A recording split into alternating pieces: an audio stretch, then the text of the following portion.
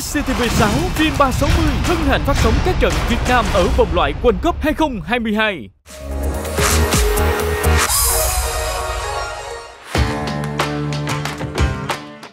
Rất nhiều sự quan tâm, câu hỏi bao giờ Trung tâm Thể thao Việt Nam tuyển sinh.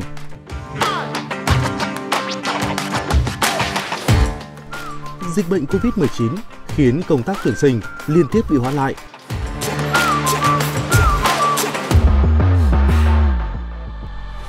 Nhưng những tín hiệu vui đã đến.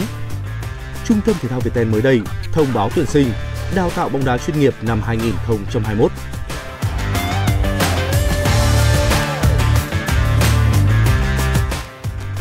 Cơ hội biến giấc mơ trở thành sự thật.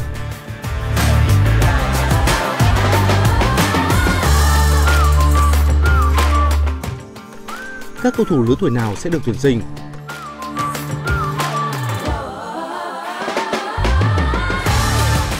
sẽ có những vòng tuyển chọn nào.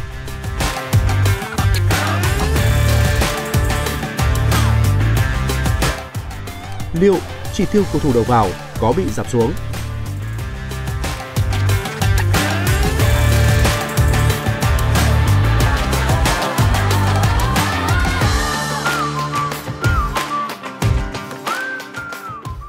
Như vậy là sau một ờ, khoảng thời gian rất là dài ờ, bị uh, hoãn do dịch Covid-19 thì mới đây uh, Trung tâm Thể thao Việt Ten cho biết đã lên kế hoạch tổ chức tuyển sinh năm 2021 vào uh, quý 4 tới đây. Và đây rõ ràng là một uh, cơ hội rất tốt cho các em đang có nguyện vọng uh, để uh, tuyển sinh đào tạo bóng đá chuyên nghiệp tại Trung tâm Thể thao Việt Ten.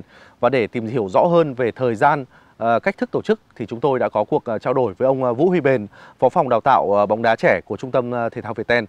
trước hết xin được cảm ơn ông đã nhận lời tham gia cuộc phỏng vấn ngày hôm nay. Như vậy là Trung tâm Thể thao Viettel đã quyết định tiếp tục công tác tuyển sinh. Rõ ràng là so với kế hoạch của đầu năm thì nó cũng bị ảnh hưởng rất là nhiều. Vậy thì ông có thể nói rõ hơn về những cái ảnh hưởng này về từ phạm vi hay là từ đối tượng tuyển sinh không ạ? Thực ra thì khi mà mình đã phải thay đổi kế hoạch liên tục trong năm thì nó có rất nhiều cái khó khăn. Đầu tiên là về cái nguồn của vận động viên trẻ thế thì nó bị thu hẹp lại. Thì ngay khi kế hoạch đầu năm thì chúng tôi đã dự kiến là tổ chức rất nhiều cái địa điểm để tuyển sinh khác nhau trên toàn quốc. Thế hiện tại thì chúng tôi không làm được cái việc đó do tình hình dịch bệnh. Thế bây giờ kế hoạch quý 4 của chúng tôi thì xác định sẽ tổ chức tuyển tập trung vào những cháu kỳ. Hiện tại thì chúng tôi đang ờ, đi theo hai hướng. Hướng thứ nhất là đối với các trung tâm vệ tinh của chúng tôi, thì chúng tôi sẽ dự kiến là sẽ phải đến tận nơi. Mỗi một trung tâm vệ tinh chúng tôi sẽ đến tận nơi để chúng tôi kiểm tra trực tiếp. Ờ, và chúng tôi sẽ lựa chọn các cháu có đủ cái điều kiện để đưa về thi vòng chung kết tại đây. Còn lại thông qua những cái danh sách đã được chọn lựa từ các cái đơn vị, từ các trung tâm bóng đá cộng đồng, từ các trung tâm vệ tinh và kể cả những cái cháu mà ờ, đăng ký tự do.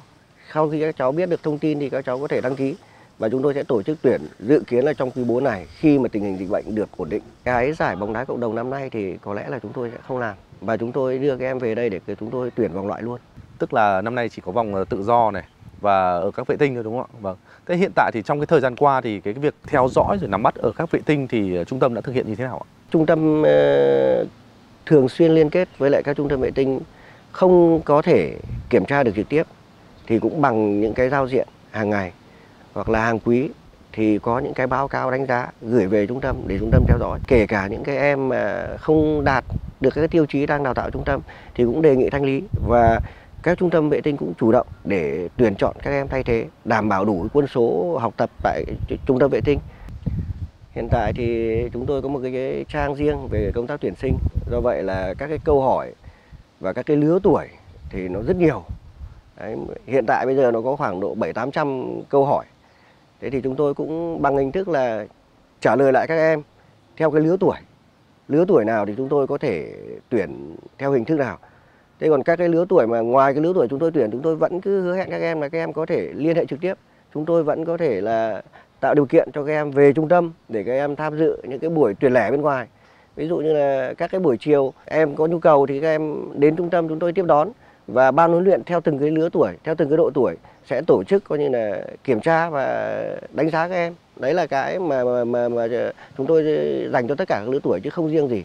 Còn đặc biệt trong năm nay thì tập trung vào lứa tuổi 2010 rõ ràng là cái, cái cái thời điểm tổ chức nó cũng sẽ bị gấp rút hơn rất, rất là nhiều.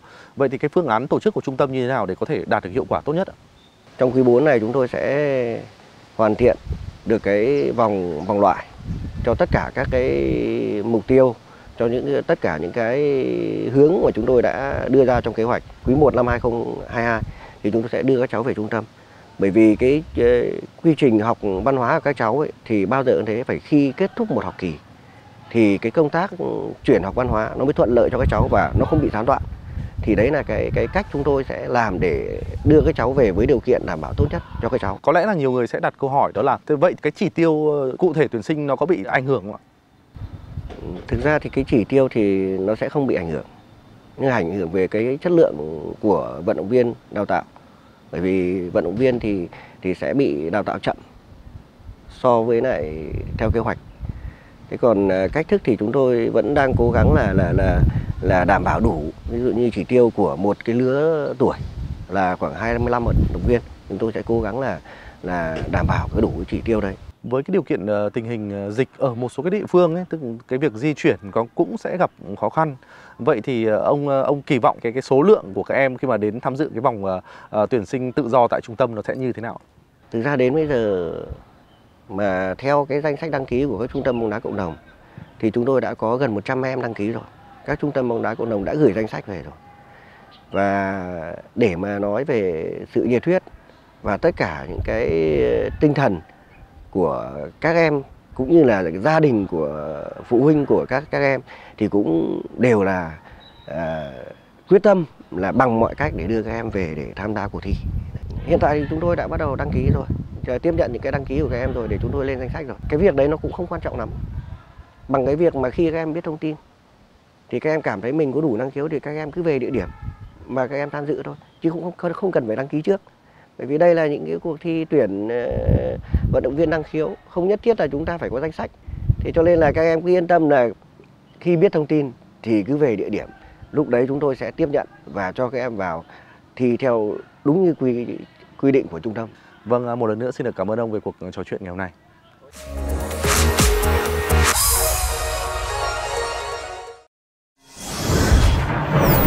Kênh truyền hình SCTV6 phim 360 hoàn toàn mới.